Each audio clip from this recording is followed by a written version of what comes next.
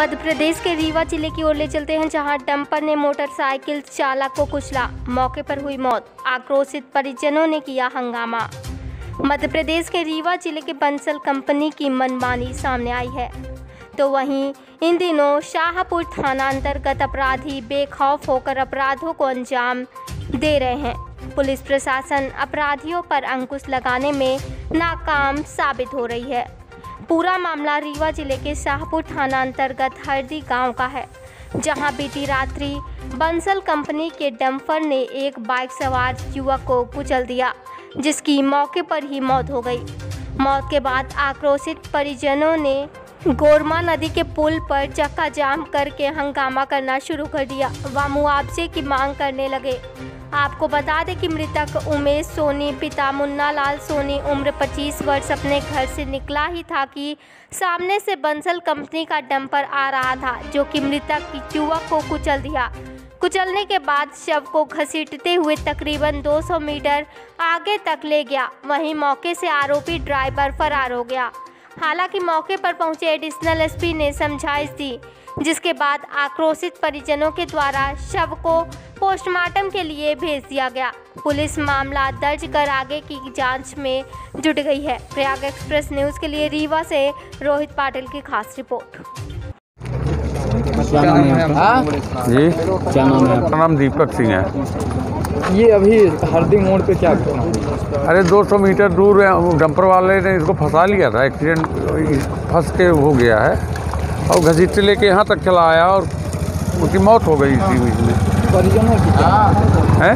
परिजनों की क्या मांग परिजनों की माँ थी कुछ पैसे गरीब परिवार है कुछ पैसे की मदद हो जाएगी तो उसका तो वही पैसे उसे मांग रहे थे पैसे बंसल कंपनी द्वारा मिल गया है।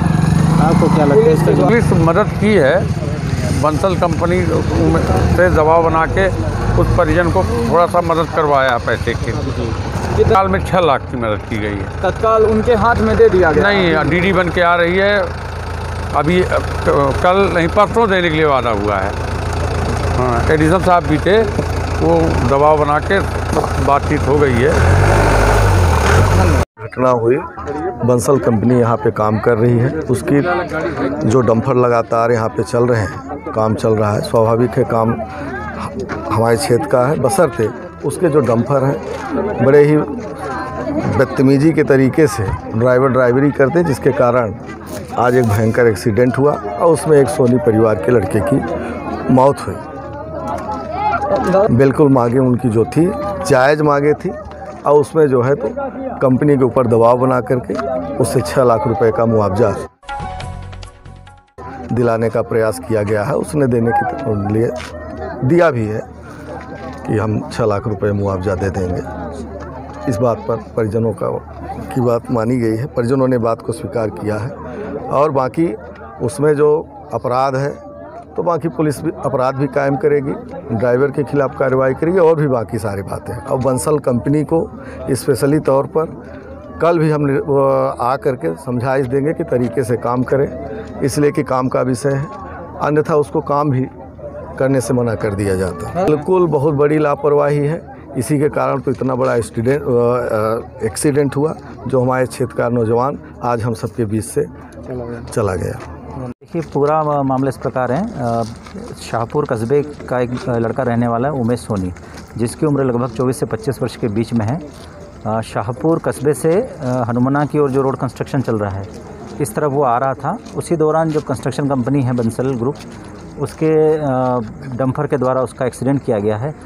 चक्षुदर्शी जो लोग हैं उनका ये कहना है कि एक्सीडेंट करने के बाद में डंपर वाले ने लगभग उसको 700 मीटर तक घसीट के लेके आया है।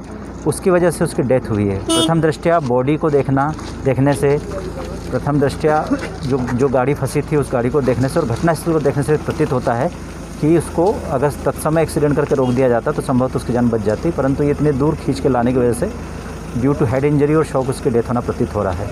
पूरा मामला काफ़ी गंभीर है। इसमें हम तीन सौ चार में अपराध पंजीबद्ध कर विवेचना में लेंगे और मृतक पक्ष की जो अन्य डिमांड है उसके संबंध में कंपनी को अवगत करा दिया गया है। सर ड्राइवर भी वहाँ से फरार हो गए हाँ अभी ड्राइवर ड्राइवर गिरफ्त से बाहर है जल्दी उसकी गिरफ्तारी कर लेंगे।